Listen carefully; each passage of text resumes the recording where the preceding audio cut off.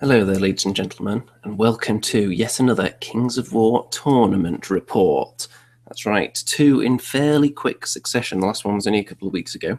So, this tournament, yet again 2,000 points, and this one was the Woodland Realm.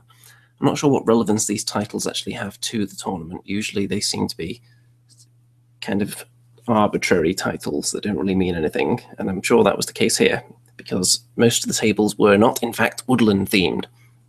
So this was from Black Dragon Miniatures, which is in Hinckley, uh, Leicester. So it's quite a way away from me, a couple of hours. So let's start off by talking about my list, shall we? Because that's obviously the most exciting part. And there is a chat going there, so if anyone wants to leave any comments, feel free. There's still a few people chin wagging away in there. I can see Dreddy and Mickey Jenver and Newbie, among others, in there at the moment. So feel free to go nuts and ask any questions you like about the games as they're going on, and I'll be able to see your little comments there. So, at the last tournament, I was reasonably pleased with parts of my army. There was a few elements that I wasn't particularly thrilled with, and then I tried out a few other things in the game that was uploaded yesterday. I uploaded that at about nine o'clock in the morning so that people who went to the tournament wouldn't be able to see what I was thinking heading into the tournament. So, a few changes to that as well. So, here's my list a horde of sharp sticks. This is orange goblins, of course, folks, as you can see in the image there. The horde of sharp sticks don't have anything fancy on them. The horde of spitters, which I also had at the last tournament, but I've given them a different item this time, a very cheap one. I've just given them fire oil, which is only really useful against units that have regeneration. But it's really cheap, it's only five points. And I think the benefit you get from it is going to come up at least once or twice throughout the tournament. There's plenty of units out there with regeneration, and some armies that have almost nothing but regeneration across their whole army. So I thought that was going to come in useful, possibly, and at five points, it's not really too much of a loss if it doesn't even come into play. Then we've got two hordes of trolls, one with the dwarven ale, as usual, because as you know, if you're any kind of Kings of War expert, trolls are quite likely to get wavered because they have quite a big gap between the waver and the route number compared to other units. So having Dwarven Ale, which means they might ignore the effects of wavered, is very nice. And also with that in mind, my other troll horde, I've given the Brew of Courage, which effectively boosts their nerve by one, so it's going to make it even more difficult to waver or rout them because they are quite a big target, those troll units. They do pack a serious punch, and of course, they have regeneration as well. So people tend to focus fire on them just so they don't get a chance to regenerate at all. Next, we've got Fleabag Riders, a regiment of those.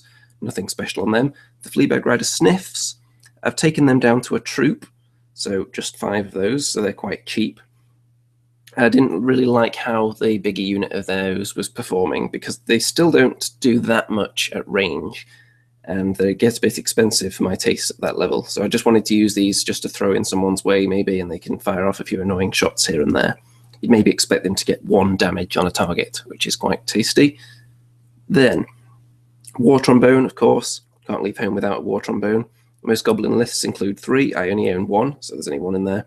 The Big Rocks Thrower makes its way back into my Goblin Fest.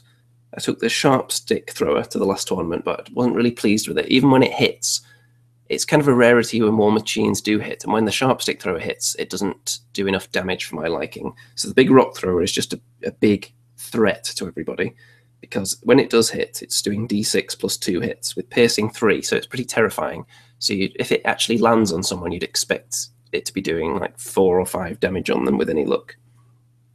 So that's scary for especially for high armored units.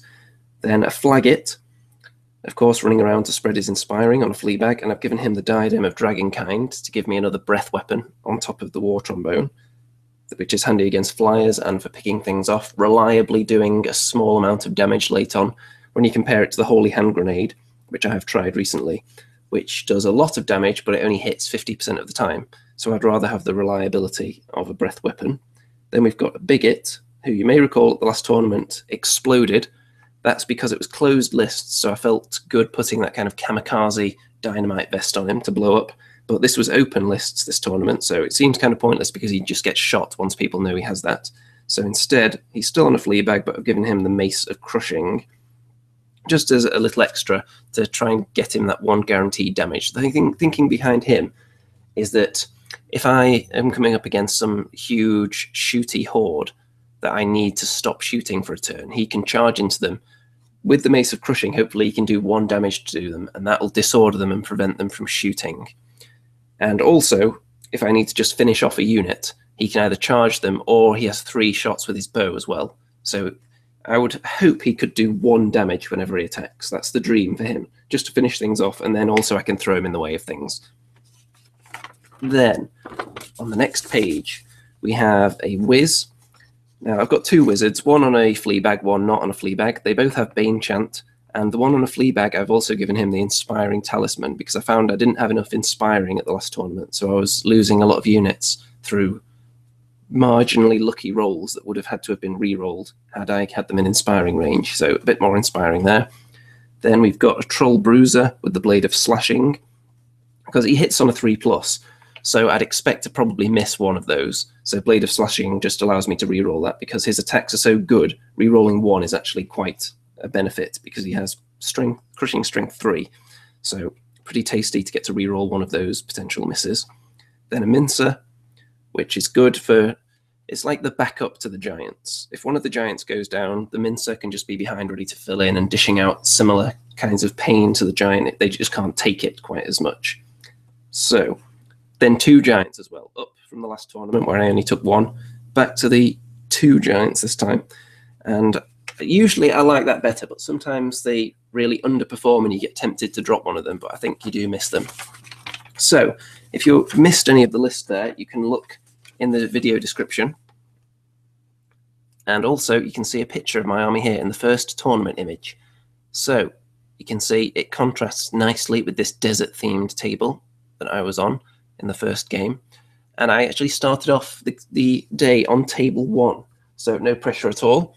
And you can see that I was up against dwarves there. And this is actually a new scenario we are playing here, so I'll have to get the old tournament sheet out here. So these are, to my knowledge, there were some scenarios that are going to feature in the, the new the Clash of Kings tournament book that's coming out if any of these are not identical to the, the scenarios in that book, someone let me know. But as far as I'm aware, this is what they are. Whether they'll be tweaked at all after this particular text was released, I don't know. But I'll tell you what this scenario was. So this was Eliminate. So, in essence, you have units with bounties on them. Your three most expensive units, not including individuals, have a bounty on their heads. And if you kill those units in close combat, then you get two victory points. If you kill them with shooting, you don't get any. So that may be a scenario that's been put in there to address the prevalence of shooting heavy armies that are out there.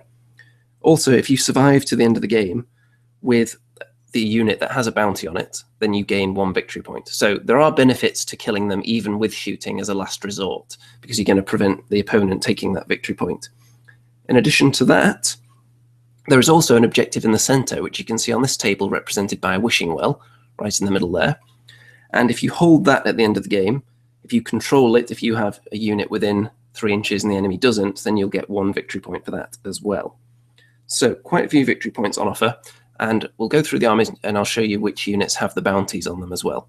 In a, in a case where there are multiple units that are the same value, then I think the opponent chooses which one has the bounty on it. So here we go. You can see that both my units of trolls have a bounty on them, represented by that green token, because they're 190 points, plus they have upgrades on them, which take them above 200.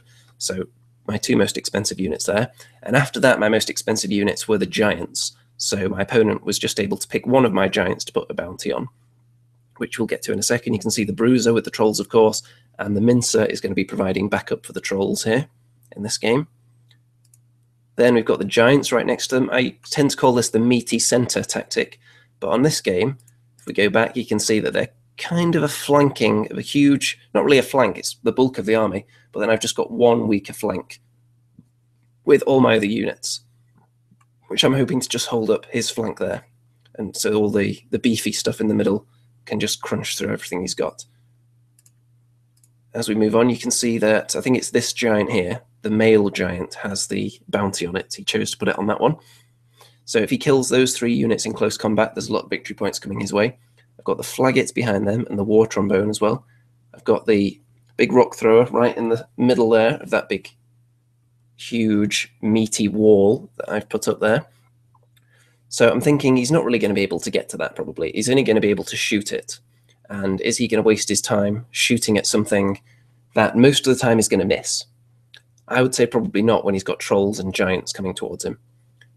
Then next to them, we've got all my shooty stuff. We've got my spitters and my sniffs. And then behind them, we've got the regular flea bags, the two wizards. And right at the end, we've got the sharp sticks, who are really just there to hold this flank. That's all their job is going to be. And we've also got the Biggits down there as well. So you can see there that the giant's got the token on him. And just to clarify, they have the bounty there. I don't know why I took that additional picture, but you can see his forces here. Now, this is actually a really well painted dwarf army. This very, very nice indeed. I've seen these on Facebook before, but very nice kind of yellow and black brownish color scheme, which is very, very tasty. So he has got, now it's hard to remember exactly what all the dwarf units are because they all look very similar, but he's got some shield breakers, which are the ones with crushing strength.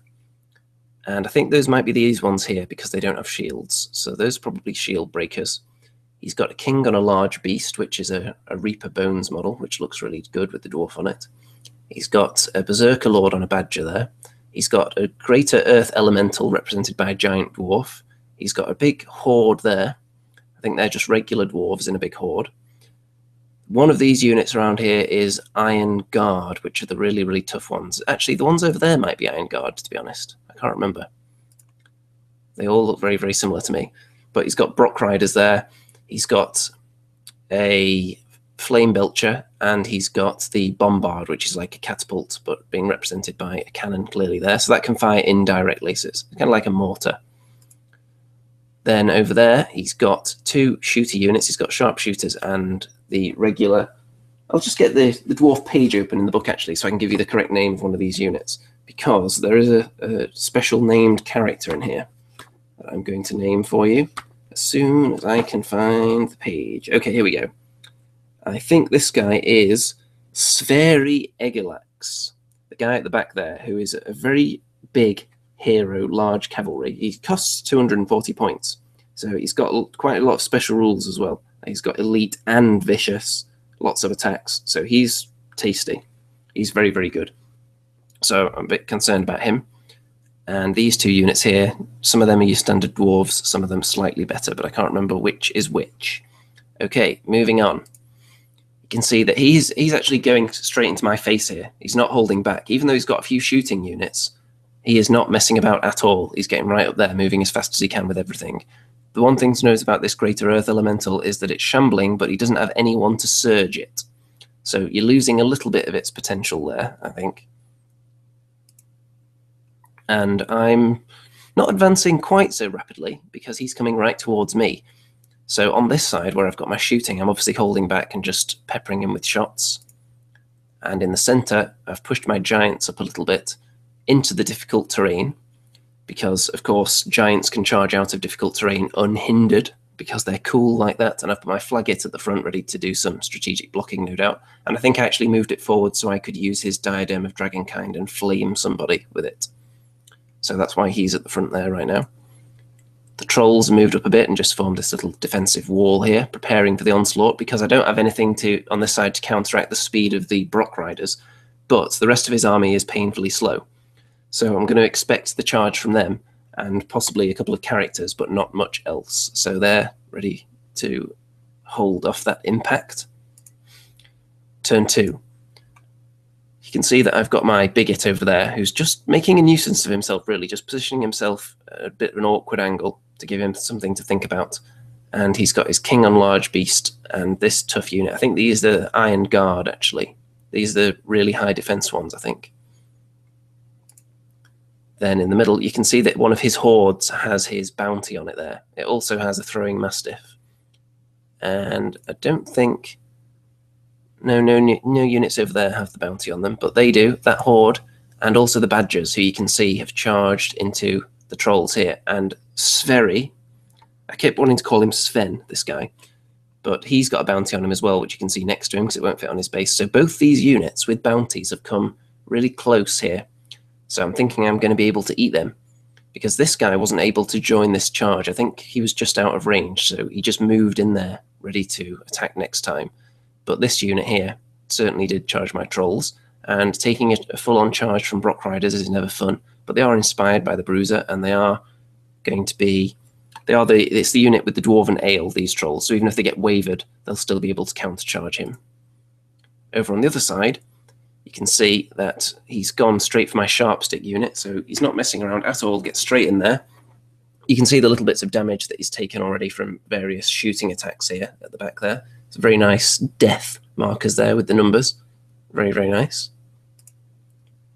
And in the center, his horde moves up, but of course, leaving himself vulnerable because he's not got a speed advantage here.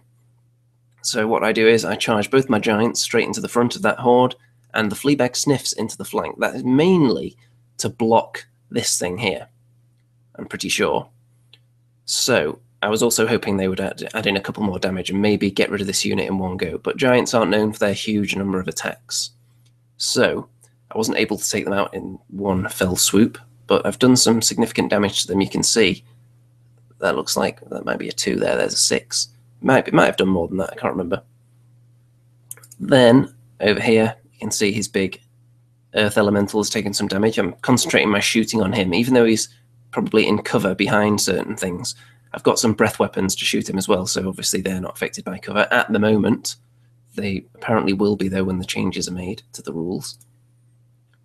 Over here, you can see that his badgers did a bit of damage to the trolls, but I regened a lot of it, and then I hit him back. I think it was a triple charge, actually, with the bruiser possibly in the flank, the mincer and the trolls in the front, and I just completely minced them alive. So the Brocks are dead, which gives me two victory points because I killed them in melee.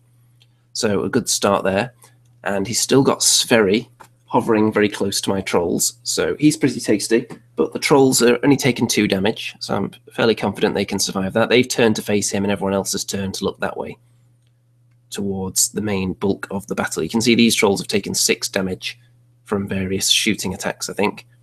But of course, with the regen, I'm not too worried about trolls taking damage early in the game, especially against a slow army that can't dictate the charges.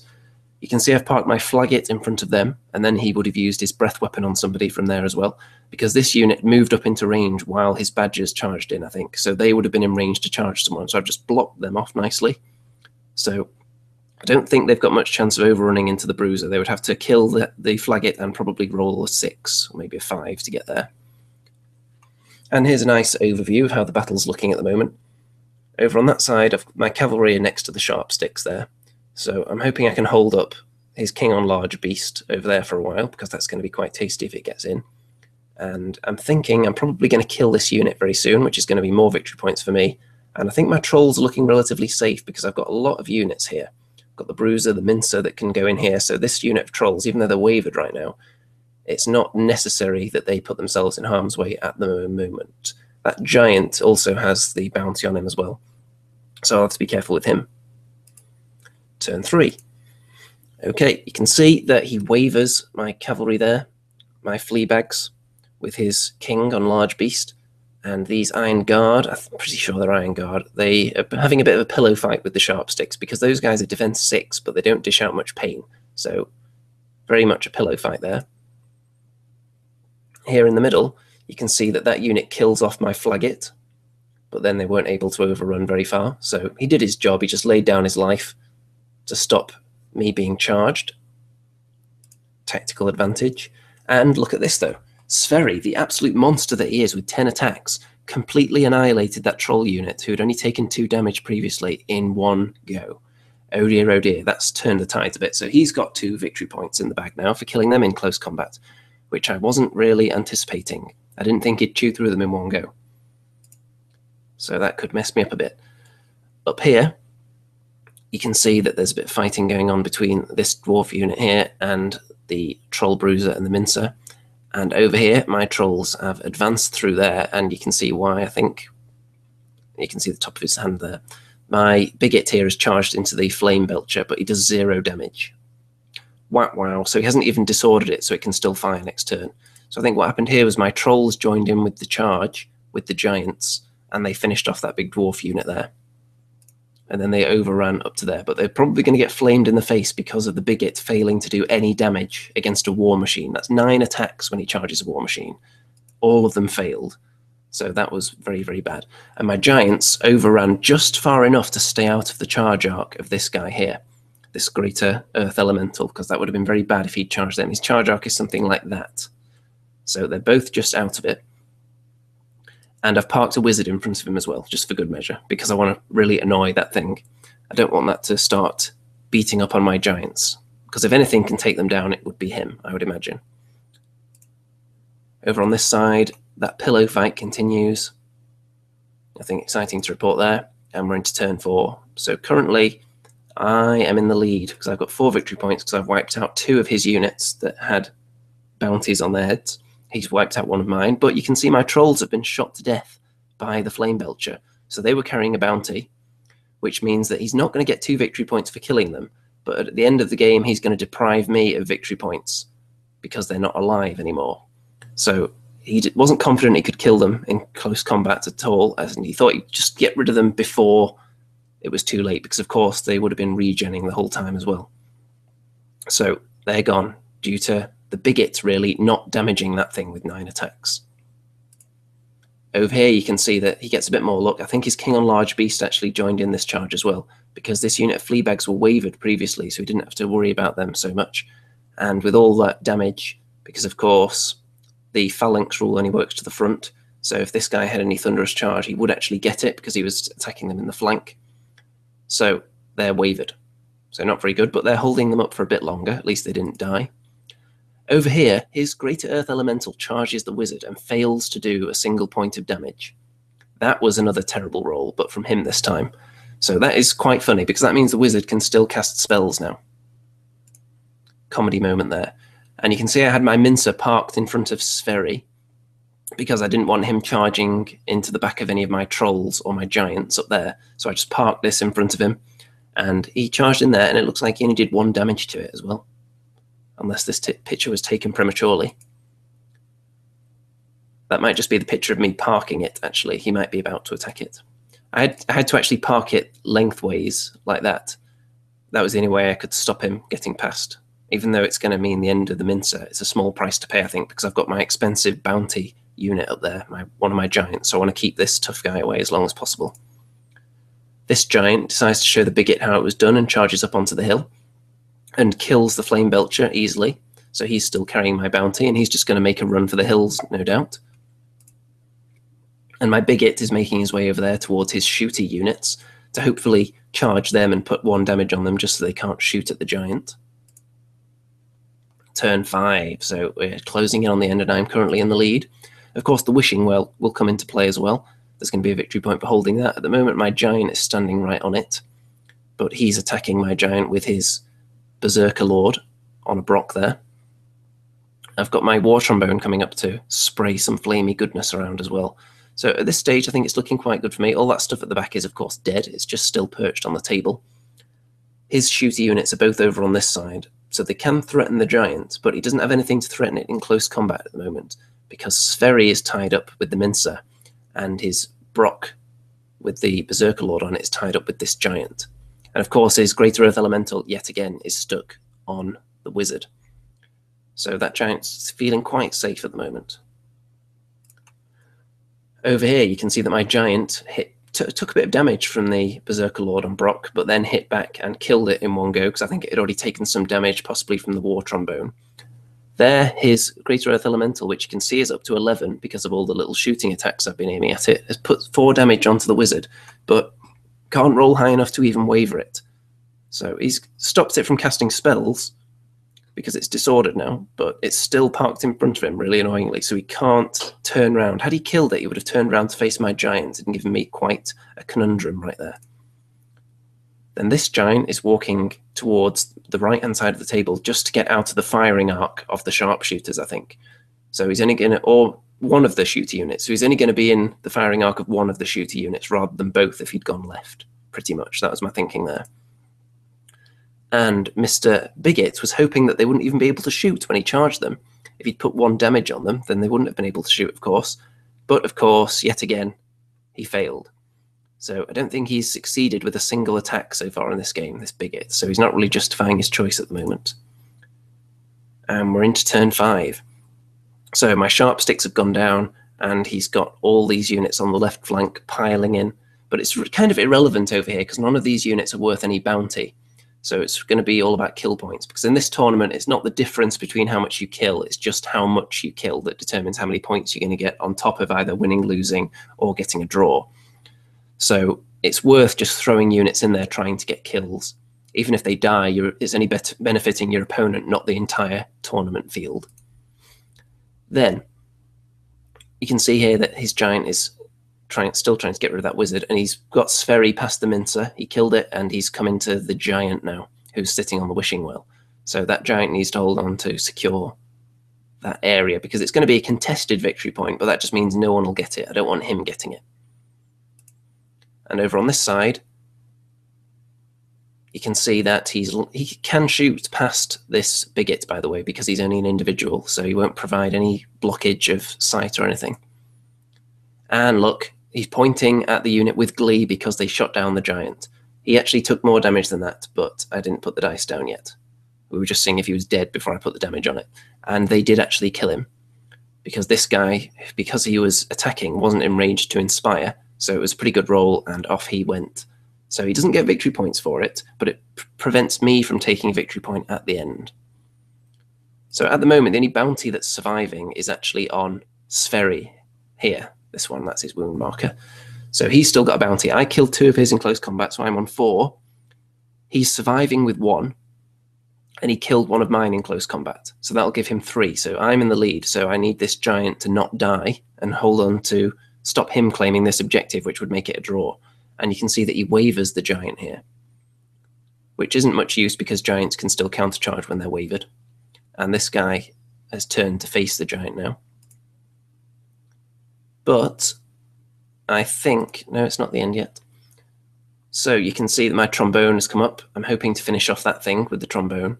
And he's killed off my flea bags right there as well. As expected, charging them in the flank with the king on large beast in the front.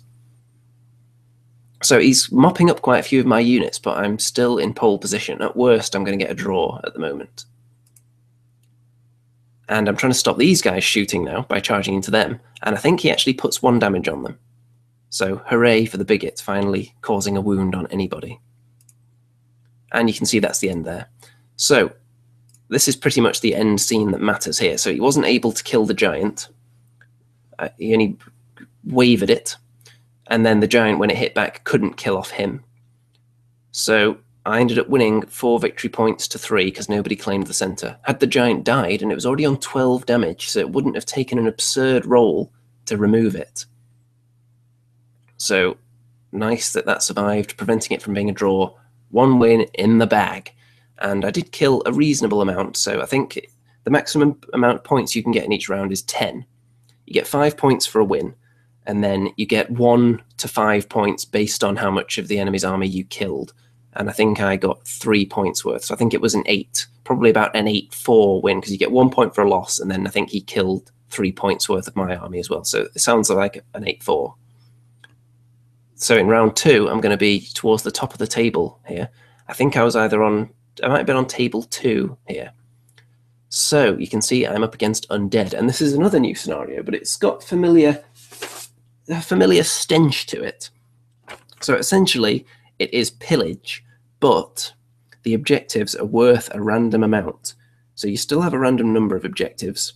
And when you're placing them, just before you place it, you roll to see how many its victory points it's worth on D3.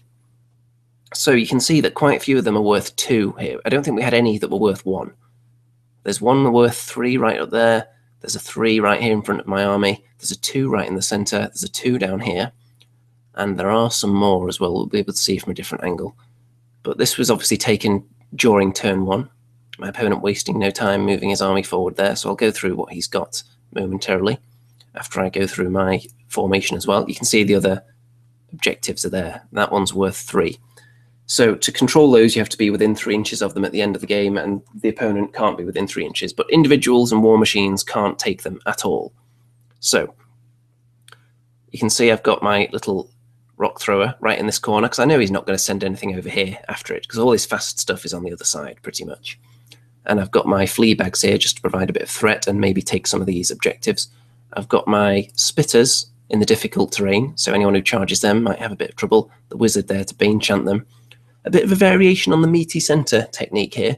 I've got my sharp sticks right in the middle. Giants on that side, trolls on the other side, mincer behind, war trombone for backup.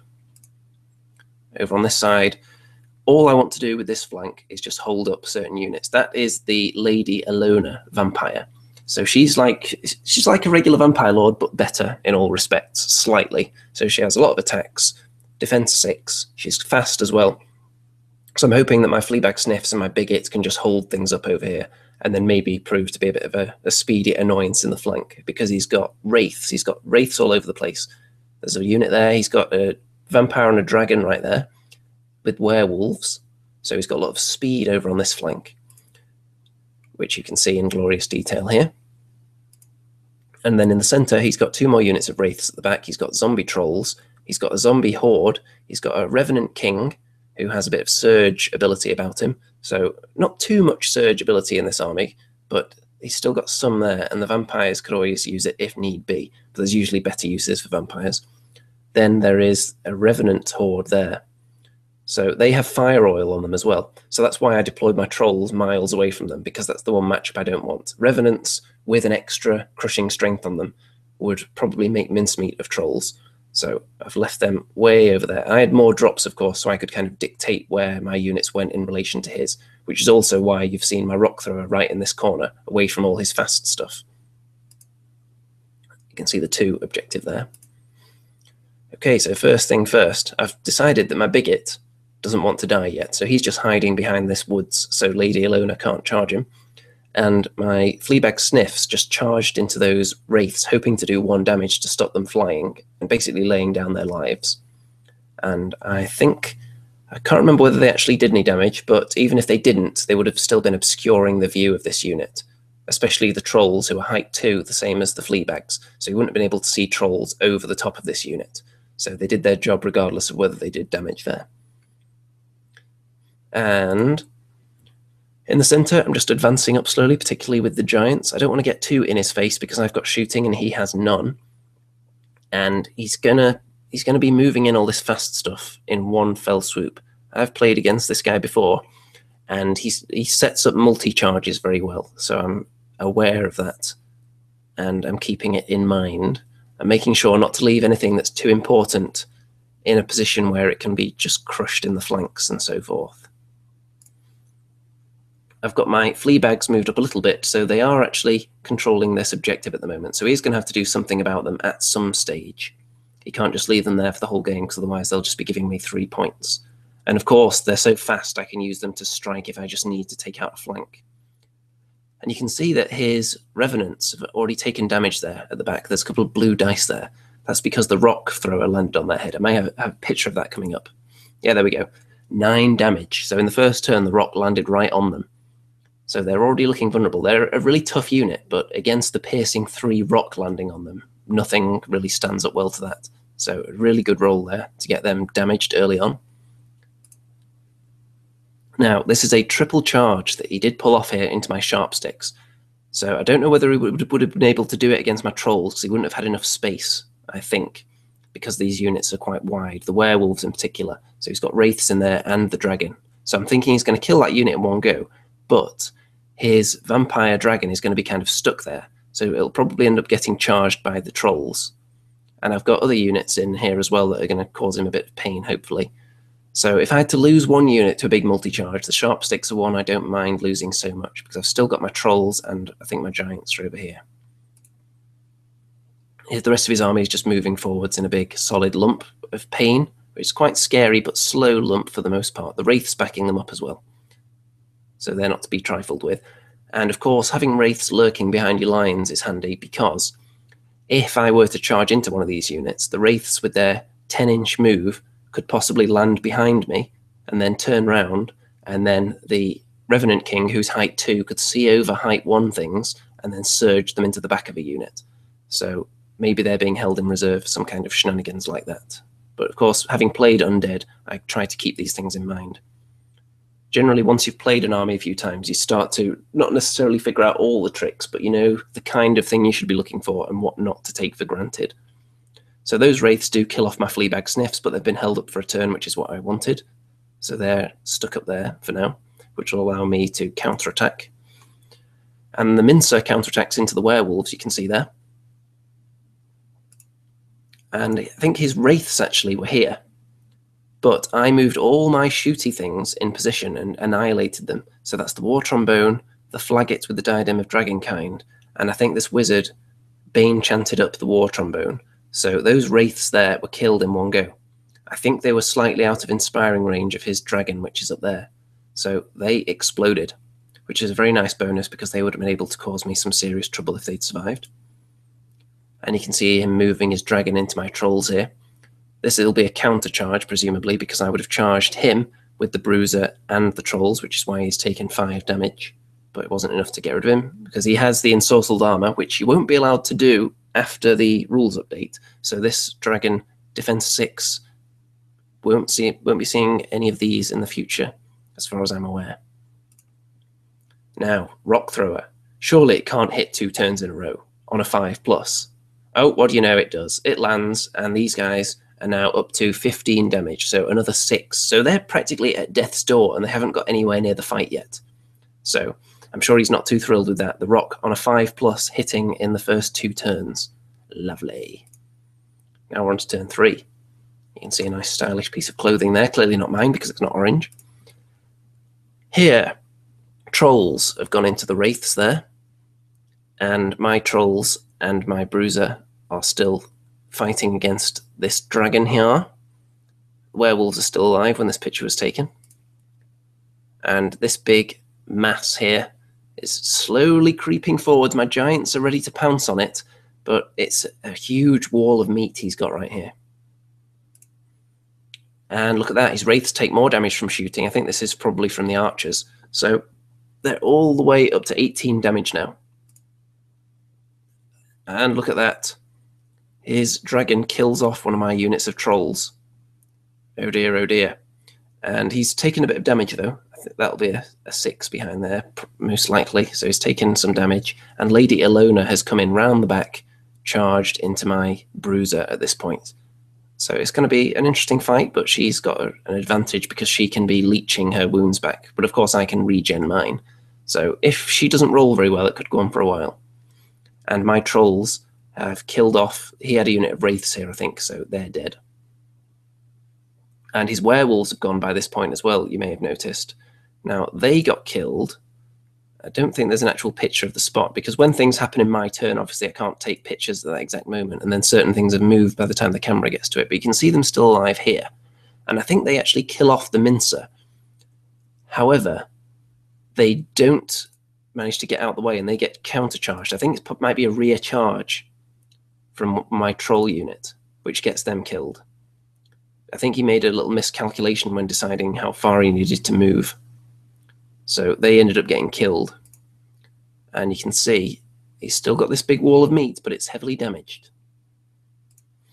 And you can see we've both got quite a bit of time left going into turn four. And look at this, I don't roll well enough on the nerve to get rid of this Revenant unit. Only a 5 on the two dice. So they are still alive. Oh dear, oh dear. And you can see here that Lady Ilona, I'm not sure if this model actually is a lady, but it's representing her, has put 8 damage on the Bruiser, but couldn't get rid of him. So that's going to hold her up, which is really nice. That's the Bruiser's one mission in life now, just to hold her up and hopefully regen enough wounds so he can survive another turn or so. Here, I uh, had a wizard parked in here somewhere, and he's charged his zombies into them and wavered the wizard, which means that the zombies are going to get charged in the rear now because I've got trolls lurking up there. So he really wanted to kill that wizard and then turn around on the spot because you don't want to get charged in the rear by trolls. That's never good. And the giant gets double charged by the revenants who barely cling onto life and the zombie trolls. Put all that damage on him 13 damage, but then rolled a double one. So lovely. The giant survives. And the other giant then kills off the revenants. Actually, I think the spitters also charged into that combat as well, just to provide a bit of help, which is how they've pivoted to face that way now after the combat. The giant's looking this way, ready to help out here, and the giant put some damage onto the zombie trolls, not too much. But that Wiz is still stuck in there. Now, you normally can't be within an inch of enemy models, but the, he was there as a result of certain units charging past him, I think, which is why he's still stuck there. And those trolls are going into the back of the zombies right there, you can see. Revenant King just lingering. Over here, you can see this fight's still going on. And look how many wounds the Troll Bruiser's taken now. He was on eight a minute ago, so he must have regened a ton of them back, which is going to be really annoying for her to finish him off under those circumstances. And the dragon has managed to turn around to back to face this way again because he didn't have any charged targets over there. So he's about to lay down some pain shortly, but he has taken a fair bit of damage, so he's not too healthy. You can see I put 12 damage on those zombies because it was a hindered charge going through the difficult terrain there with the trolls. So I didn't get that many hits even in the rear, tripling their attacks.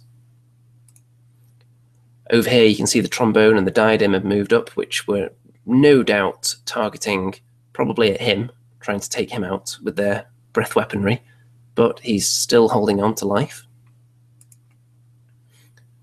Going into turn five, not that much time left. And here you can see that because the dragon is alive, he charged into the rear of the Spitter Horde. Because there's an objective up there which is being hotly contested with my flea bags and some wraiths, so uh, he didn't want the Spitters to join in that fight. So he has charged into the back of the unit there, and he's put the Revenant King into the flank as well. Put a lot of damage on them, but then here comes the juiciest double one that you could wish for. Double wanting that unit, which is it's basically wasted two, one very hard hitting unit and one reasonable, reasonably hitty character in the same turn. They've effectively wasted their damage because this isn't a very useful unit at this stage of the game, to be honest. But they were kind of threatening this region here. But the double one, so they're stuck there. And he already used his charity reroll earlier in the game, so he couldn't re-roll that. If I hadn't mentioned it before, then this tournament was using the pay five pounds, get one reroll per game rule. The zombies have turned round, so they're going to be fighting against the trolls here. That's no doubt a counter charge. And here you can see that the spitters have actually run off here. I can't remember whether they actually charged that unit or not. I think they probably did, to be honest. And this guy is stuck here. You can see that he's actually wavered, which is going to effectively take him out of the rest of the game because I've got quite a lot of annoying shooting attacks in this army, and most of them have survived to this point. So the little bit of damage that was put on him was enough to keep him wavered. And this giant here is facing off against the trolls after they killed the other giant. So that objective there is worth three. For the last three turns of the game or so, I was very, very conscious of the objectives, and I was I noticed that he didn't really have anything in position to take an objective beyond a certain point in the game. It was very limited in which ones he could take other than this one. With his Wraiths, obviously, because I would fancy the Wraiths to beat the Fleabags in a straight up fight because he got the charge in, because I didn't want to move away from the objective. Over here, these trolls, after they wipe out the zombies, they move backwards so that they're guarding this objective, which is worth two. So at the moment, they're the only unit that are holding any objective at all. And in the middle here, my Bruiser is still fighting Lady Alona. Look, he's only on four damage with it regenning all the time, and she failed terribly with her rolls multiple times. So, of course, he's still wavered. That fight's still going on. And he was working out whether or not this unit of trolls could move backwards and get to within range of this objective here. But in the end, we determined that they were just out, so they couldn't do that. You can see all my little shooting attacks that moved up here, which is why he ended up being wavered over here. Uh, I'm not sure exactly what's gone on here. It looks very similar to the last shot, but really there's not a lot of killing going on here. Turn six. Okay, we've got about five minutes left each. And I was just in case it wasn't clear in the other images, this guy is wavered, so he's not going to be able to do anything in turn six, which is a really big blow for him. And Lady Alona finally kills the Troll Bruiser, but it's too late to affect the game hugely because she's not going to be able to go off and kill anybody else. and I don't think the Troll Bruiser was holding an objective. Over here, he can't quite kill the flea bags, which he needed to do, which would then give him that objective, which was worth three. And the one I'm on is only worth two. So we'll see some other shots in a minute to see how that could have played out differently. But his Revenant King here was forced to attack the big Spitter Horde, who were double wand earlier, and finished them off in one go. They were already, I think they might have already been beyond the point of double oneage before he attacked them. So he only needed to do a bit, and he removed them. So the flea bags needed to hold on, and they did. Over here, the trolls and the giant, wavering a giant, again, pointless, because they can countercharge, of course, while wavered. And these trolls are sitting up there. There is an objective down here worth three victory points. So I think, had he been able to take out my flea bags, I may have been able to move this unit. They're in difficult terrains. They wouldn't have been able to march but I may have been able to get to within three inches of the objective down here, possibly, which would have made it a draw. You can see where it is there. So that gap there, I think they could have made that. I think they possibly could have done. It would have been pretty close. I think they probably would have been just in range to do it if I'd needed it. But I already knew before my turn that I'd already won the game by this point. So I didn't actually need to move them. And then here, this guy I put more damage on him with my shooting, but only rolled three on his nerve. So if I'd killed him, it would have pushed me up a threshold in the amount of points I got for the game, I think. So that would have been a nice bonus. I couldn't finish off that unit either. So, yeah, there he is, surviving the game on 14 damage due to that bad roll right there. And that's the end. So you can see the only objective that was held was this one here. Two victory points for the trolls because this one sitting right under them, I, we both had units within three inches of it. So there you go. That was a win, that game right there. And it was it was very, very close. It was pretty much on a knife edge, as you can tell, because if he'd killed that unit, he would have had that three out right there, and I would have had to move my trolls down to this one, which would have made it a draw. So very, very, very tight. That guy just clinging on to life at the end very close. The double one on the Spitter regiment, the Spitter horde that was there, was a big moment as well because it stopped his revenant from going in and joining in with that fight against the flea bags, which really, had he done so, then he may have been able to kill them. So that was a big moment as well. Next game. So this is, let me just check the sheet. The scenario this one is is dominate. So nothing too fancy about this. By the way, I'm on the top table now, so I'm getting a nosebleed at this point. So dominate against the forces of nature. Dominate, of course, being the scenario where you want to take the center of the table. You have to be within 12 inches of the center point. The whole of the unit has to be within 12 inches. And then any individuals will be worth 50% that are in there as well.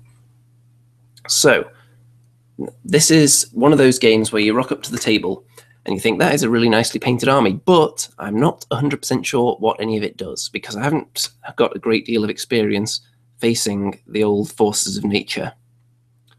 I think I may have played them once and maybe another time as allies to another army, but I definitely don't remember what their units do particularly, other than the fact I think last time I played them, they had unicorns healing everyone, but apparently they're not broken anymore for some reason. I don't have all the info on that like I said, not a huge amount of experience against the forces of nature. You know what? I'm going to open the rulebook on their page right now so I can actually name some of their units. Now, I'm, let me just check if they're actually in. Here they are. Right, they're in the main rulebook, the forces of nature, so I might be able to give you names of some of their units. With it being dominate, I of course want my meaty center strategy to hold the middle of the table. So I've got my trolls, my giants, the mincer, and the war trombone right in the middle. And all these terrible units here sharp sticks, flea bags, and the spitters and the, my individual characters on flea bags are just there to kind of stop his flank and hopefully hold them up for long enough so that by the time they kill off what's down here, they can't work their way back to the center. And yes, Mickey, the unicorns did spray out magical horn juice, much like Cecil the magical unicorn does on a regular basis. So I'll go through his list to the best of my abilities in a moment. But you can see on this flank here, I've deployed them kind of crossing over each other, which I don't mind because this unit's nimble and can just run off wherever it likes. And over here, these guys are obviously going to stay back and shoot. And I'm advancing with my big wall of meat. I very much like this meaty centre. Normally I have it the giants on one side and the bruiser between the two troll hordes, but for some reason I didn't go for that here. I wanted the trolls on the outside with the mincer as backup. This, has, as a centre of an army, very rarely is it going to come up against something that I'm afraid of facing off with. Because even if you get the charge in on giants, if you waver them, they'll still countercharge you. If you don't kill off the trolls, then they're going to regen their wounds, and one of them has dwarven ale, so they might be able to countercharge you even if they're wavered. And even if something dies, I've got the mincer as backup. So there's just so much pain that can be dished out from this block here I'm very, very confident that whatever people put in the middle of their army isn't going to stand up to it, usually. I'm sure there are some counters for it, but I need the flank of my army to hold up whatever they've got on there. If they overload a flank, I need to just hold them up and stop them coming in to flank this lot. So that's my general plan here. Now, let's have a look at some of his units because they are amazingly painted. You can see that one of them moving up here. He's got a few large beasts that all seem to be fairly similar. They may have been a beast of nature. So a lot of monster-sized things that all look fairly similar. And over here, this one here is, let's see if I can get the actual name here. It is, it's something large it may actually, it may be a tree herder, possibly. I think it is a tree herder because it has surge. So that big one there is a tree herder, I think. So I'm sure someone could correct me if they know any better. And the unit over there are a unit that can be surged. So they will be, or this might be them actually. They might be forest shamblers. And this unit, I think, are. I'm sure this is riveting listening, by the way, as I try and figure out what all this stuff actually is. Uh, I'm not entirely sure what they are. They may be Hunters of the Wild, that unit there, because all this stuff vanguarded up into my face before the game even started, which was pivotal in me deciding to take the first turn, because he didn't really have any shooting. I've got quite a bit of shooting, so I thought, if I don't go first, I may only get one turn to actually shoot with anything. So I decided to go first, which I usually don't. I usually let my opponent go first, because a lot of my shooting isn't going to be in range if I go first. And also, in a, in a tournament like this, there were no turn sevens, by the way, if I didn't mention that.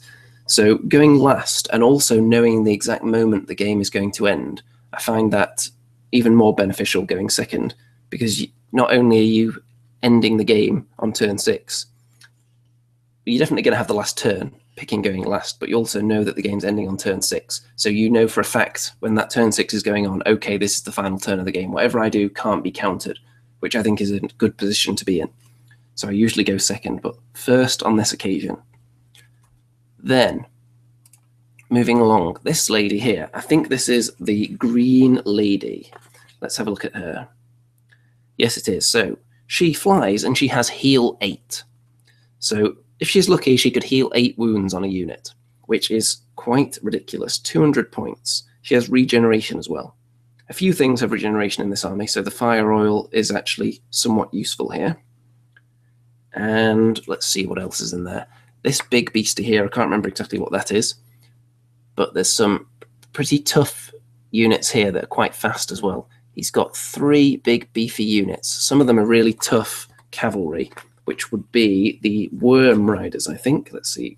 Naiad Wyrmriders. So where are they? They might be these guys here. And he's also got a flying beast. I think this is a Pegasus or a Pegasus, as it clearly is here, hiding behind a rock at the start of the game which is a big piece of impassable terrain. So that's going to be flying out and causing some damage. So he's got a couple of flying units in there. And this large beast here has moved forward towards my flea bags down on this side towards my sniffs. And you can see just how far up he was able to get very early on. With his vanguard and his first move of the game, he was right in my face with some of this stuff, which I don't like at all. Over on this flank, he's positioned these units because they're very fast as well. So that thing is pretty much going to eat the big rock thrower, and that thing is probably going to eat the Fleabag sniffs if I don't do something quickly. Now he positioned this guy out of range of the war trombone, which is a clever move, but as we head into turn two, you'll see why he overlooked one crucial issue shortly. I decided to charge these Fleabags out because if I don't charge them, they were probably in range to charge me, and I was just going to get killed regardless. So I might as well try and get a hit in on them, see if I could get lucky. But no, not sure whether I did damage. I certainly didn't get rid of them. They are a beautifully painted army. Guardian Easter says in the comments. Yes, they are. This is like a serial winner of best painted awards. This army, I think, very very nice. Possibly the best army I've ever played against in Kings of War visually. Very likely, actually. He's a bit of a master painter, this guy. Then you can see that I parked my, I think that's the Biggit, has parked in front of that big monster there because the exact positioning I put him in, if I'd charged him, he would have been able to pivot round and charge off at someone else. I wanted him in such a way because he's not nimble or anything. So with a single pivot, there's no way he can charge into the spitters. So that's just to block there. Mickey Jenver is very amazed by the look of this army. Yes, it is truly a sight to behold. Then, over on this side, I'm advancing, but all his mounted knights, all his cavalry are staying back, which I would assume is so that his powerful flank can crush my feeble flank, and then his flank forces can come in and help, and they can all go in a kind of pincer motion from both sides at once. So I'm going to have to really take the fight to him and actually kill off his cavalry back in his half before his flank crushes mine. Over on this side, I've had to turn some units round because of the threat coming in from the fast mobile stuff over there. And you can see that that Pegasus has actually been removed because he didn't count on this guy. I think he forgot that this guy had the Diadem of Dragonkind. So uh, that put a lot of damage on him, and the Sniffs also shot a couple of wounds off him, and they took him out in one go. So that's very useful. That's going to preserve some of my units over on this side. But it doesn't get rid of this guy, so he charges into the big rock thrower, which is going to go down. I don't think it landed a hit, so it's about to die without landing a hit, but it did all right in the previous games, so I'm happy with its performance so far. Up here, you can see this beastie survived the little bit of shooting damage that it took and made it into the spitters, but it doesn't have a huge amount of attacks, this guy, so I don't think he's going to shred through them too fast. Over here, though, a double charge into the flea bags. They're going to go down, but I've still got the sharp sticks and a wizard over here, I think. So they're going to just try and cause annoyance and slow down this lot as much as possible while my meaty center does its work shortly. And yes, they kill off the flea bags. No surprise there. And here you can see that he's, he's starting to spill through the other part of my flank here into the spitters with these guys. And his other stuff's moving over this way now which is going to be bad if they reach the fight soon. So I've lost a, a few units already. He hasn't lost too much. But look at that. The spitters actually hit back and killed that beast there. So they must have rolled pretty well because they're not very good in combat, the old spitters. And over on this side, he clearly kills the rock thrower, but I've got my shooting attacks here poised to aim at him. The Flaggit and the sniffs both aiming their respective weaponry in his general direction. In the centre here, I've moved one unit of trolls forward because he wasn't advancing. He's clearly just waiting for backup and he doesn't want to face off with my trolls and giants. So I've sent one unit up, begging him to charge me so that I can then unleash furious countercharges. You'll see that I actually made a little mistake in a minute though. Over here, he gets a double charging on my sharp sticks. I think I probably charged him first out of desperation and it didn't pay off clearly because they're about to be toasted.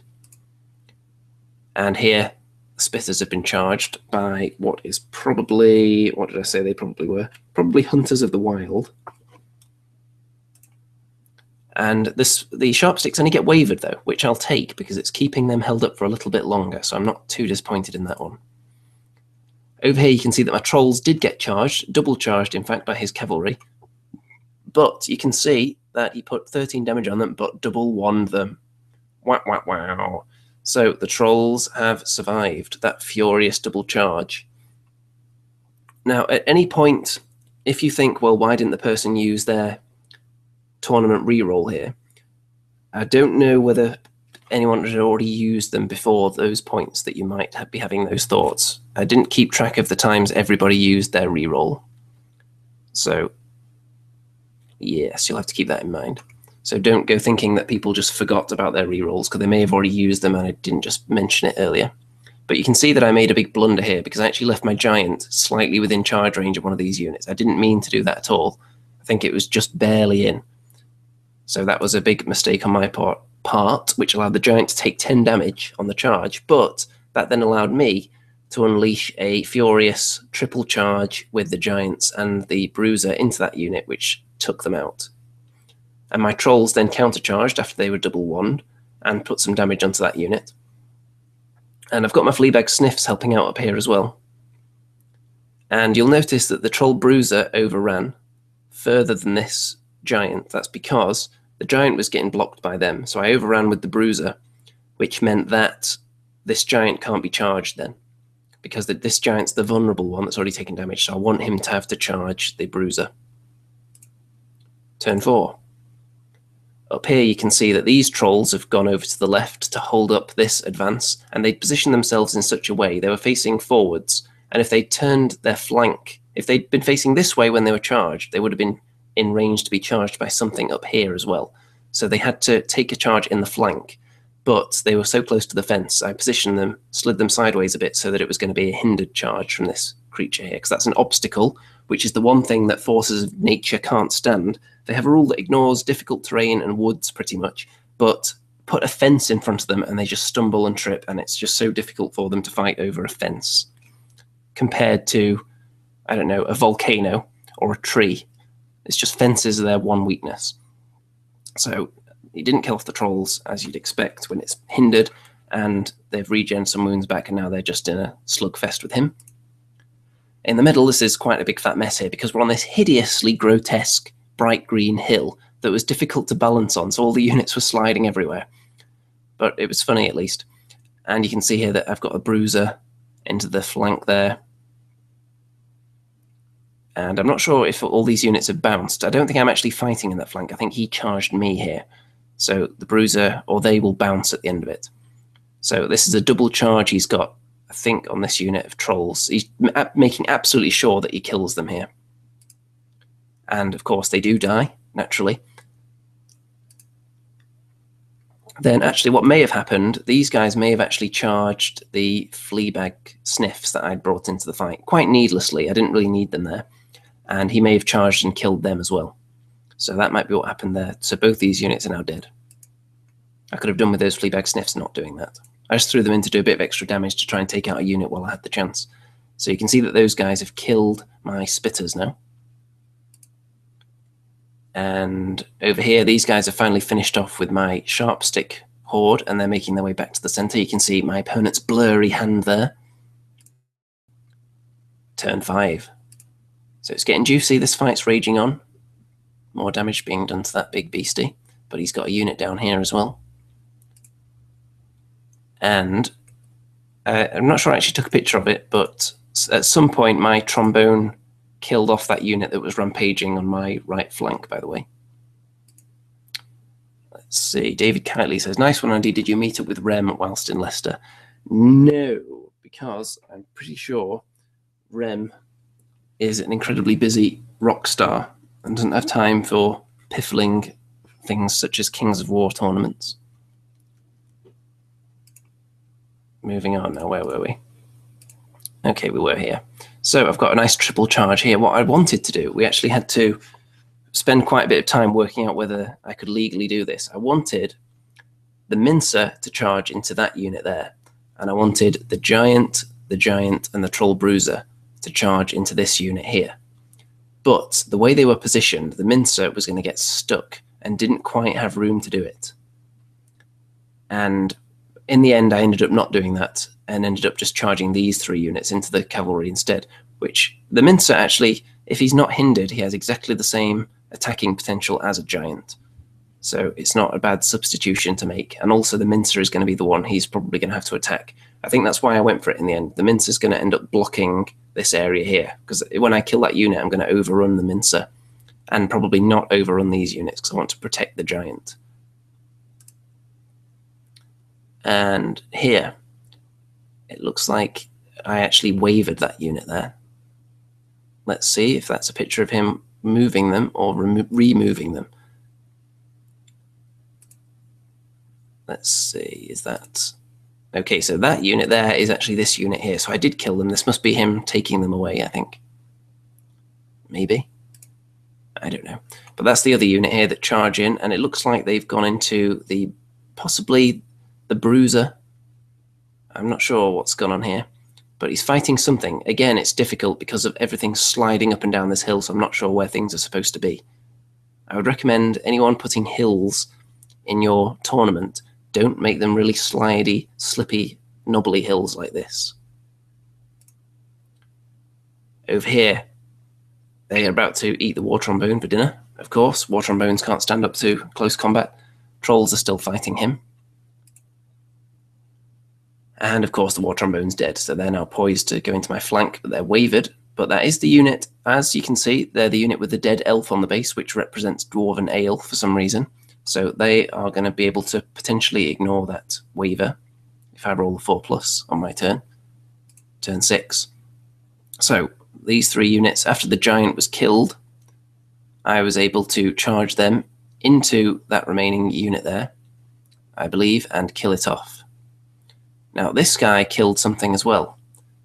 I think one of the, I think what actually happened was, let's just go back a sec. Okay, so this unit didn't die, it was wavered, so it moved backwards as far as it could go, which is why he's moving it with his hand there.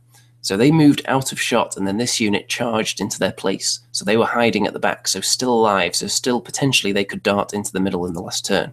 So what I did to counter that was, after killing off this unit as well, you can see that the Diadem of Dragonkind wielding Flaggit has perched himself on the hill. That's because he had to reach that point to then use his weapon on the unit that was retreating at the back there and actually killed them. So I got rid of all the cavalry Guardianista says, I guess the Mincer could not pivot enough to charge the unit on the right. It was a very, very complicated situation because units had slid around off that on and off that hill so much. We couldn't really tell where certain things were supposed to be. And the angles were very, very tricky. So in the end I decided just not to risk sending the Mincer into that thing on its own because it looked like it wasn't quite possible. Down here, the trolls, you can see, have killed off that guy, that big monster. So they're now in a face-off with this unit here which is most likely the Hunters of the Wild. Up here, you can see that these two big beasties. Okay, so there's a little story here. I had my wizard up in this general direction here. Those are shamblers. This guy has surge. So he can surge, or she, should I say, judging by the shape of the buttocks there. And I think it is a female model. This model here surged those you those guys there into the wizard it was quite high roll. I think he, if let's see what kind of surge that guy has. I think it's where are we? Tree herder surge eight. Okay, that sounds about right. He needed five inches to reach the wizard on eight. So on average, he should just fail it. And had he failed it, they probably would have failed to reach the center of the table. But he did actually reach and manage to kill it because of that. So, oh dear, oh dear. So those both get into the middle and the green lady who was running around just healing things up willy nilly, which is why you may have noticed damage disappearing on various units of his. With heal 8, that's. It is ridiculous. So I still had quite a juicy amount of expensive models in the middle here. The trolls, the giant, expensive. The troll bruisers, fairly expensive. And you have to have 200 more points than your opponent in the central area to win. So let me see. Is that here's the last image from above to show you exactly what's in the center. All these units pictured here were in the middle, and would you believe it? He had about 50 points above the threshold required for a win. I think he had 257 points more than me in the middle after individuals were halved. So just enough for me to lose the game. Wow, wow. So of course, if they'd got stuck up on the wizard up there, then it would have been a draw. I think overall, though, I can't complain too much. It was a very, very strong army, which was well played. The vanguard over on this side really put the cat amongst the pigeons. And I will definitely keep that in mind next time I'm facing forces of nature, the fact that they can take several vanguarding units. It's kind of like when I faced the Abyssals in the last tournament, and I wasn't really sure what any of the units did. I'll take that, that experience forward in my games against forces of nature, though and I'll hopefully do better against them next time. But this was on the top table as well, though, so let's not forget that. Coming very close to getting a draw here. So this is quite a way up from where I usually am at this stage of the tournament, especially with goblins. And now on to game four. So I've dropped down to table three, I think, at this stage, which is still quite high up. And I'm still in with a shout of actually winning the tournament if I get a big win and the people above me either draw or get really tiny wins and barely kill anything. So it's definitely worth going all out for a big win here because it's still wide open. So this time I'm against the Forces of the Abyss. Now, I have to give credit to my opponent here because I think this is the first time I've ever faced an Abyssal army where it's almost entirely Mantic models. I think there's only a couple of things that aren't official Mantic. I think the Well of Souls, which you can see at the back there, is not Mantic, but I'm pretty sure the rest of it is. So the scenario we're looking at here is invade, which is park as many of your units into the opponent's half as possible at the end of the game. So I think yet again I won the roll off for going first or second, and I went second again, which I usually choose. And I think with this scenario it's a good one as well because you can see where exactly your opponent's units are at the end and then decide what's the best way of countering that with the final move of the game. So I went first you can see that I've spread all the way along the table, and so has he, but you can't actually see all of his because some of it's already moved when this picture was taken. But with it being invade, you can't leave a gap anywhere really because the enemy will just flood into it and be in your half. And if you go back and fight them, then you're just stuck fighting in your own half, and then you might not be able to get back to the enemy half again. So you don't want to leave any gaps at all, really. So we haven't. He's put fast units on that flank against my little shooting block and I've got my huge meaty center here, which isn't going to be too threatened from that side of the rock. You'll see why in a moment. But when these armies went down on the table and we were looking at the units across the table from each other, this is one of the only times where I feel like, you know what, if all if our armies just mash into each other in the middle, I'm going to win this. I felt like my army looked stronger than the opponent's army. I don't know whether that's actually true on paper or not but that's just a feeling I got looking across the table. Often I'll look at the opponent's army and think, hmm, that looks scary, that looks scary, that looks scary, that doesn't, that does. But in this army, I wasn't particularly scared of most of it. Only the Well of Souls, really, because I had, you may remember in the last tournament, that did quite well against me. Okay, so I've got my fast wing over on this side, which contains the Fleabags, the sniffs, and the Biggit. In the middle, I've got the sharp sticks with the mincer for backup. And then the big meaty area here, you'll notice I always put the giants starting in difficult terrain or in the woods when possible. That's because, of course, they can charge out of it unhindered. And also, trolls and such will be more bothered by the difficult terrain. And giants are also faster. So being in the difficult areas is more beneficial for the giants than the trolls. So if you've got to have some units in the difficult terrain, it might as well be giants. Uh, let's see. Guardian Easter says, I hate tabletop games. You have to think about what you were doing. I prefer charge and hope the dice go well. Well, people can certainly play Kings of War that way if they like. I don't know how well they'll do, but you can definitely give it a go. Over on this flank, he's got gargoyles and he's got some hellhounds. I'm not sure if the I'm not sure if the abyss are in the main rulebook. Let's have a look. I think they are actually. Let's see here are they in the rulebook? Because I remember looking at their units when I was reviewing the last tournament. So you would think they'd be in here somewhere. Because I don't think I have the other book. Let's see. Are the forces of the abyss in here? Well, apparently I can't see them if they are. So probably not. Okay, so I can pretty much remember what the units do, though, since I played against them last time, and especially against this army where all of the units are pretty self-explanatory visually. You can tell what everything is because he's using the official models. So let's move on.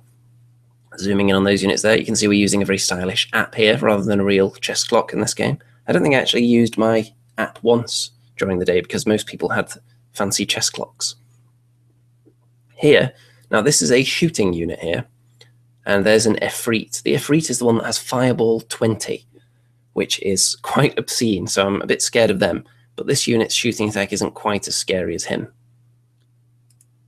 Then in the middle, I think these are lower abyssals, this big horde here. And then these things, now, what are they called? Maybe succubi, something like that. They're really, really nasty, though. And the Well of Souls behind them, which has the uncanny ability to remove wounds from friendly models and absorb them onto itself. And it also has Life Leech 5. So if it's absorbing wounds from friendly models and fighting, then it's going to be leeching all the damage back from your whole army, potentially. So it's really, really good, that thing. Over here he's got some Molochs, which are fairly similar to Trolls. And he's got some slightly more potent regular infantry there, with some crushing strength. He's got more of the Hounds, another Efreet, and the guy at the back there is a lord of some description, so he's going to be a bit more fighty. Okay, so over on this flank, I move my cavalry forwards a little bit. I'm laying down the gauntlet to him because I'm faster than him, faster than these hounds. They're speed 9, all my cavalry is speed 10. So I'm moving into my charge range, but not his, just inviting him, seeing if he wants to go for it. And also I can be shooting him as well with the sniffs this whole time. And also the Biggit has a bow, so with their combined shooting attacks, I get two damage on them. Not enough to remove them or waver them though, but it's a start. Now a lot of stuff in his army has regen as well, but we'll get to that when we get to my fire oil wielding spitters, because that's going to be quite useful against abyssals, because a lot of regen. Okay, so I've positioned my breath weapons here, the Diadem of Dragonkind and the Trombone, because I'm worried about his speedy flank coming in and disrupting my shooting zone. And you can see that through shooting, I think this was a rock that landed on them. I put five damage on them, so this is over on my right flank or his left. And there's my little shooting battery there. And you'll see these dice here. That's because in front of this was parked the gargoyles and the hellhounds. I shot the gargoyles and I rolled a double one. And I thought, do I want to use my reroll in turn one on a cheap unit of gargoyles? And then I looked and thought, this is very, very fragile if he's allowed to charge me with two units here, he's going to stop all my shooting pretty much for the whole game. And he's probably going to wear through them and probably kill almost everything here. And I don't really want that to happen. So I think I had to use my reroll because I did not want this unit to be charged and the rock thrower to be charged. I wanted him to make a choice before he was inevitably killed by all my breath attacks. So I really wanted that unit dead, so I re-rolled it and I got a three, which was just enough to kill it because it was already over double Wansville. So it was worth it. I almost, you can say I almost failed again to kill it. Turn two. So he's advancing up with his beefy, tough, hard hitting units. And the Efreet as well, who's going to be launching fireballs willy nilly. And from that, he actually puts four damage on my sharp stick horde. He doesn't seem to be shooting at my trolls at this stage. Yeah, he is now with this lot here. So fireball and their shooting attack, presumably. On the trolls, five damage on them.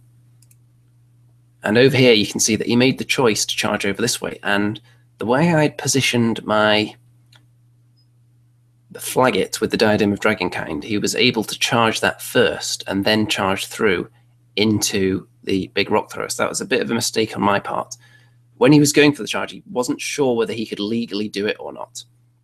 But I was pretty sure he could. So in the end, he went through him into him because it was tricky the way he was trying to maneuver around by the charging by the shortest route, depending which angle he would be at, and so on. Because of course the individual character turns to face you, and you have to center yourself on him. So it was all quite fiddly. But in the end, he ended up taking out both of these units in one go, as you can see. So they've definitely earned their points there. But then the trombone just obliterates them, as expected. So he did weaken my flank a bit, but I've still got a decent amount there. I've still got my spitter horde down here, which are, if nothing else, they're going to be some nice points that I can march relatively unopposed into his half, because that's his entire left flank, or right as I look at it, severely weakened now. And it's going to get weaker still because my Troll's charges Efreet, hoping to kill it and overrun into these dudes, but I can't quite get rid of him. You can see he's wavered there. In the middle, this was a big risk on my part. The two giants charging into, I believe they're succubi. If that's wrong, someone can correct me. And I knew for a fact if I didn't uh, kill them and overrun or turn, I would be charged in the flank on this giant here. This one's safe because that unit's line of sight is like that. This unit's line of sight, of course, is like that. So they're going to get a, a flank charge on this giant. And these guys have ensnare, which means that you're at minus one to hit against them. So I didn't do that much damage. I only did four, as you can see and unfortunately I could not remove them. So that giant's going to get flank charged, but I took the risk, it just didn't quite pay off. However, I have got trolls poised further down, so that if he does flank charge me and fails, he is going to get shredded big time with this unit, which is his biggest unit. So not, we'll see whether he risks it or not. Down here, I've positioned my Fleabag Sniffs behind his Hellhounds, and I shot a lot of damage into them. They're up to 11, and then I double wand them. And as you know, I already used my reroll in turn one. So that's two double ones so far. So there's no escaping the double one, even in tournaments that allow rerolls. If you're going to do it multiple times, it doesn't help you whatsoever. Then over here, those hounds were then, because they were double one, they were then able to join in the charge on my sharpstick regiment, along with his Molochs, who are quite tasty.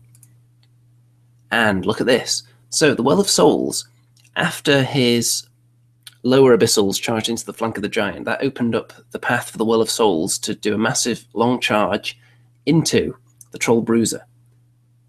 Because he had he'd taken a bit of damage on him from another unit nearby, he just absorbed it onto him, and then he got that back in combat against the Bruiser, I think. But he couldn't kill the Bruiser, so he's definitely going to get flank charged by these trolls here. So we'll see whether that was a big mistake on his part as well. Okay, looking at this, I've wavered that unit there with shooting, no doubt, because I've still got my spitter horde who are peppering them with shots. And look, there's that giant dead. So you can see the horde turned round, face forwards again. So they didn't expose their flank because they just killed the giant. So my gamble in the centre there did not pay off. We'll see whether that comes back to bite me. The hounds and the molochs kill the sharp sticks in one go, so it's starting to fall apart a bit. However, I've been looking at the Kings of War Facebook group recently, and there was a lot of discussion on charges with nimble units that go around one unit and into another. So those are only height one.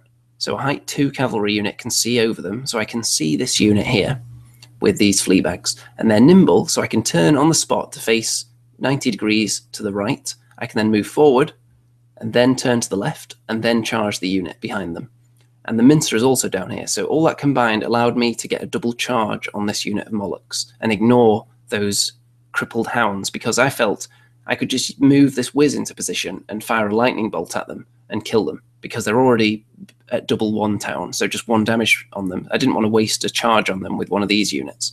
So I double charged the Molochs, even though the cavalry will be hindered. I think it's still worth it to ignore this unit because they're facing the wrong way and just a lightning bolt will kill them. So sneaky tactics there. Now these trolls took out the the Efreet died, and that's what they killed because the unit behind the Efreet that I wasn't able to overrun into because they'd already been killed by these guys here. These spitters had already taken them out, so they exploded. So he's got nothing at all on his left flank. So my right flank is totally free. So I can move this unit up and just park in his half now, I think, because they're not going to be able to reach the rest of the battle. And the trolls are going to be able to march back into the fight that's going on in the middle and help out over there. And they're barely damaged as well, so that's going to be fun.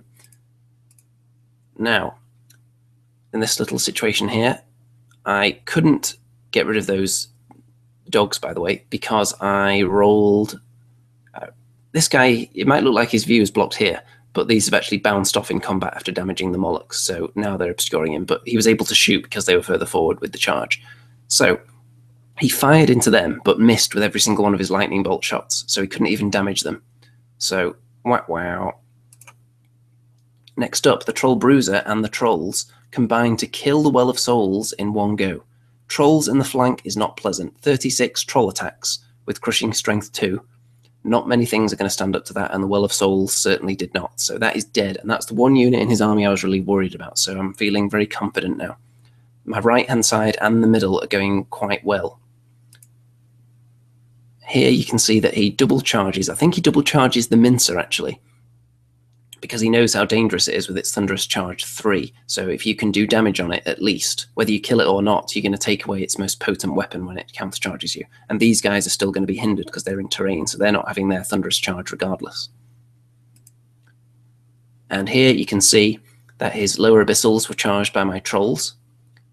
The ones that were, let me see which troll unit this is. Is this the one that was involved in the fight with the, okay, they're the ones with the obelisk. So it's not the obelisk unit. This is the unit that was fighting the Well of Souls with the Troll Bruiser. So they moved up and they get into a bit of a slugfest with these lower abyssals. And the giant is still fighting the succubi, which is really difficult for one giant to do enough damage against a unit that has minus one to hit. Very, very difficult indeed. And of course, giants are pretty sturdy, so they take a while to take down as well. And I think both these units actually have Fury, so they can still countercharge while wavered, which is why it's taking even longer for the fight to really get going. Okay, now this guy. It looks like he's about to do some flamey action because I've taken a picture of him. What does he do? Okay, he puts some damage onto the Fleabag Riders, 4 damage, because they weren't charged, of course. And look at this, the Mincer is dead as a result of that double charge from the Lord and the Molochs. So off goes the Mincer. And in the center, I take out his lower abyssals with a combo charge. I can't remember whether all my trolls went into them or not. There may have been two units of trolls charging them, though, and the bruiser. And I think this unit was in the flank. So that was a billion attacks on them, a billion damage, and off they went. So the center is pretty much mine, and it's looking very good for me at the moment. It's looking like this big, strong, meaty center of mine, minus the giants who haven't done that great are going to start mopping up towards the left now. Over on this side, I waver that unit again, but of course no difference because they have Fury. And my Fleabags are looking like they're going to get killed very shortly because they're surrounded. And this guy gets wavered actually. I think I might have shot at him with something and put one damage on him and wavered him. That may have been my Biggit who's camped somewhere in the top left corner of the table right now. Over here, I try and lightning bolt the hounds again. And what do you know? He misses all his lightning bolt shots for the second time in a row. Wow, wow. This wizard, he's he packed his wrong wand today, or he got out the wrong side of wizard bed today. And look at this. So, the wizard, not satisfied with his wand any longer, decided, you know what? Because this guy, this lord, wounded the wizard in combat, so I couldn't shoot anyway. So I thought, I'm just going to charge those hellhounds instead. Because if I do one damage on them, I could still get rid of them because they're already way beyond the, the point of needing any kind of decent roll. So he charges them, he rolls and actually hits them on a six, and then does damage as well, taking them up to 12. But look at that, then he double ones them. Wow, wow, wow. So this wizard is just the ultimate failure in this game, I'm afraid. Three goes to take out this unit, and he fails terribly. And what's this? Another double one? Surely not, I hear you cry. Well, we've got the giant here was killed by this point, by the succubi. And the troll bruiser and the trolls both go into the succubi, pile up damage on them really high. And look at that. Double one again. So I think that's four or five double ones I've had in this game. And of course, I was only able to re-roll one of them. So the luck is certainly against me, but the game is still going well somehow, despite all that. These trolls are... That's not that unit. So these trolls must have just killed something. Let's see if they were lined up to fight something. They may have killed the Molochs. I think they killed the Molochs they kind of charged in from this direction, and then after the fight, they turned back round to face that way again because they need to be in the opponent's half to get those points, those juicy, juicy victory points. Then the Biggit, after we determined that the Biggit was guaranteed to finish in my own half because the center line is right there. So after fighting him, I would bounce away an inch and end up in his half, guaranteed. So that's the only reason I went for the charge on him, just to try and kill him off. One final action, and couldn't take him out though. And these guys just march extra far into the enemy half just to make sure there's no doubt. And here's the end of the game with the center line down the table with this tape measure so you can see where it is. So he's got that unit of nice fighty abyssals, which didn't do too much fighting during the game, to be honest. They just kind of camped in my half when they got there. And then he's got a couple of individuals there in my half. I've got the Biggit there in his half. Then the trombone wasn't in his half because I needed it here to kill those hellhounds off that the wizard couldn't kill on three separate occasions. So the trombone just toasted them completely, and I didn't fail the roll again, so they died. And these two troll units killed off the succubi, so they're both in his half nicely, scoring me a lot of points because they're very expensive. And the spitter horde are quite expensive as well. They're in his half, and so is that wizard. So that's the final picture. So you can see it was quite a clear win for me here. You need 200 more points than the opponent generally, and I think I had about 450 at least more points than he did in his half. So quite a convincing victory, despite the prevalence of double ones throughout the game, which went against me. But it wasn't enough. The trolls managed to secure the win. And that's quite a healthy, solid win. I killed almost everything. He's only got those three units left. So that's going to be quite healthy looking like either an eight, probably a nine score, I would think, looking at that, because he's not got that many points left. So that's going to be quite a juicy one. So all that remained was the final standings, which I'm going to look at on my phone right now to make sure I can tell you exactly where each race finished. So I can tell you right now that in the whole tournament overall, I finished second which is definitely my highest finish ever. The first time I finished in the top three of a tournament. And looking at the scores, the guy who finished at the top was the one who beat me in round three. And he finished five points above me. So I can rest easy in the knowledge that even if I'd managed to sneak a draw out of the round three game at the end, I still would have finished a point behind him. So I still wouldn't have won the tournament, even if I'd managed to weasel a draw. So that's always the most agonizing, isn't it? Where you think, well, if only that one dice roll had gone in my favor, I would have won. So I don't have any worries like that because I would have still finished second, whether that game was a draw or a loss. So don't have to worry about that. And just to give you a rundown of the races, so Forces of Nature finished first, Goblins, which was me, in second, and then after that, in order, we've got Undead, Empire of Dust, Kingdom of Men, Ratkin, Ratkin, orcs, ratkin, abyssals, ratkin, dwarves, forces of nature, forces of nature. So there were 14 people in the tournament, so I'm very impressed that I was able to finish second. The scoring was actually very, very close. The top, after the top one, the next four players were very, very close together. I was just ahead of the following three people, which had Undead, Empire of Dust, and Kingdom of Men. So very, very tight. And then, of course, the two Ratkin players after that, making up the top half. So I can say, of the tournaments I've been to, the batch of opponents I faced this time, probably because I was towards the top tables the whole time, it was very, very high standard of play, I felt, from my opponents, just in general play. I'm sure you can look at this and say that people made mistakes, but just people you can tell when someone's looking at a table what kind of cogs are turning in their head, the kind of calculations they're making. And you can tell when someone knows what they're doing pretty much. And I felt that all my opponents, to at least a very reasonable degree, knew what they were trying to accomplish during the game. They had a plan, they were planning ahead, lining things up. And I would say that I'm extremely proud to finish second in what I feel was a, pretty good field of players. So, anyone have any questions? Let's see. Guardian Easter says, Where did you buy those dice? Were they cheap? Uh, which dice are you talking about? If you're talking about the lovely orange dice, which are these ones here, I think I actually got those from Bad Squiddo Games slash the Dice Bag Lady.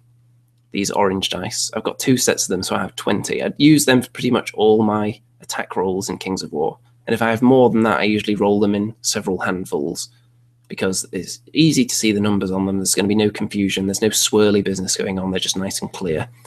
Nice, big, chunky orange dice of goodness. And the white ones I use for these little wound trays are just your standard kind of dice you get in every boxed game. So, any questions on the tournament? Drop them in there. Uh, Mickey says, not many undead armies. I thought they were the power army. Well, the last tournament, there were no undead. And at this tournament, there was only one undead. So maybe people are going off them. And also in the, the update that's coming for, for undead, some of the powerful builds that are out there at the moment aren't going to be, be possible anymore because they're taking away some of their ability to have defense six on some of their heroes. So that's going to be interesting to see how people react to that and what kind of undead lists people come up with. I've been throwing a few ideas around because, of course, I used a lot of defense six vampires and a Pegasus with ensorcelled armor in tournaments. So I'm looking at possibly adding even more zombie legions and maybe using Mhorgoth the Faceless, perhaps. I haven't used him before, so that might be fun. Right, let's whiz back through the images here while I'm waiting to see if anyone has any questions on any of these games or the tournament in general or the tournament scene or the venue, Black Dragon Miniatures.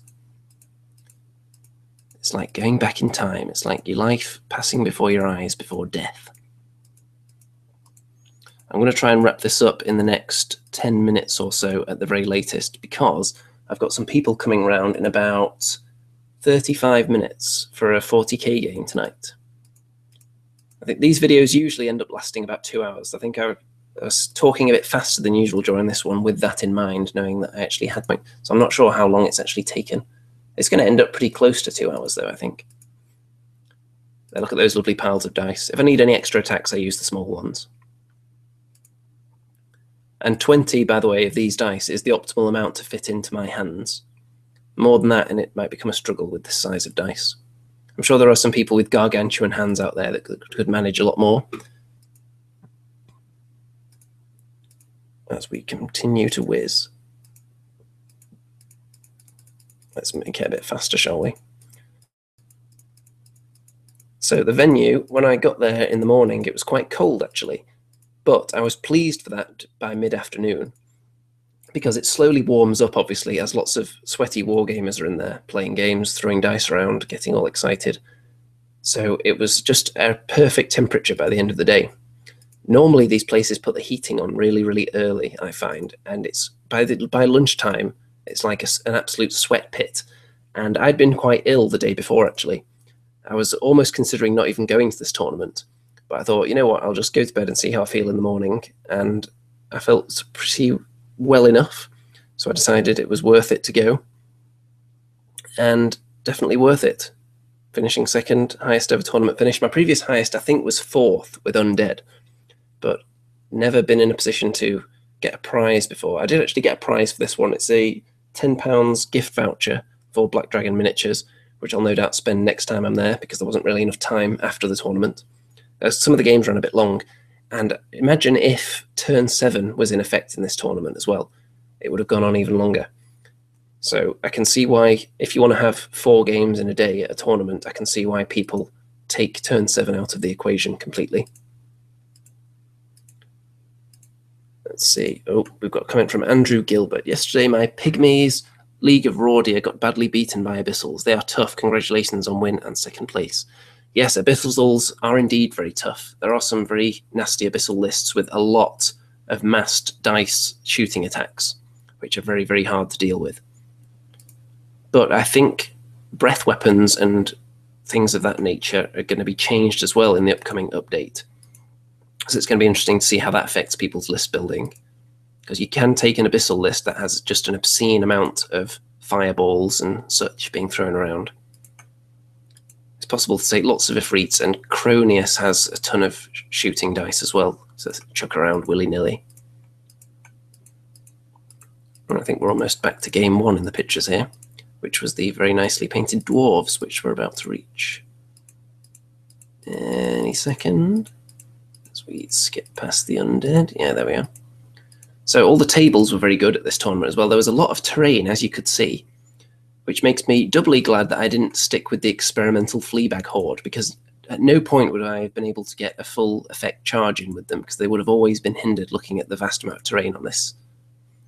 There were obstacles and woods and difficult terrain all over the place. I mean, just look at that. There's very little space for you to maneuver without being hindered somehow. I mean, the hills don't cause any hindrance, but of course they can block some line of sight. So a lot of terrain, but it didn't ruin any of the games, as far as I'm concerned. Let's keep whizzing back, shall we? Okay, I'm getting ready to wrap this one up, folks. So any final comments you want to get in? Now would be the time.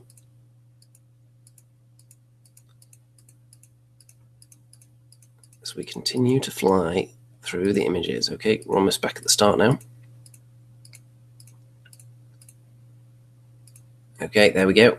So of course that's a lovely picture from game one where my Fleabags were double charged and they I think they died during that. So thoughts on my list. I'm thinking of tweaking it a bit. The Biggit, he in no way did he do enough to justify his inclusion in the army. I'm sure if I'd rolled better with him, he would have been able to stop a few people shooting now and then, but I don't think it's worth it for the points. I would much rather have another Flaggit who is cheaper, who I can then put a really nasty item on, like the Holy Hand Grenade, for example, which has a 50 50 chance of doing massive damage. It's almost as potent as like a, a rock thrower, almost. And it's not it's not that expensive. It's cheaper than the Diadem of Dragonkind, so I could have two Flaggits, one with each. And I think that would be pretty damn tasty indeed. I'm really going to consider that because that would just be another big threat to the enemy, a big, nasty, potential annoying shooting attack. Short range again, but I think it would have done more in this tournament than the Flaggit. I'm also thinking of taking out the Fleabag Sniffs. They did a few decent things in this tournament, but I would like to experiment with more beasts because I do have some balls from Macrocosm, which I'm basing up at the moment to use as more beasts. They're like bouncing balls with angry faces and teeth. They kind of look like squigs. So once I've got them painted, I might try and factor them into the list as well. Other than that, I actually like pretty much everything that I've got in there. I like the amount of giants and trolls that I've got.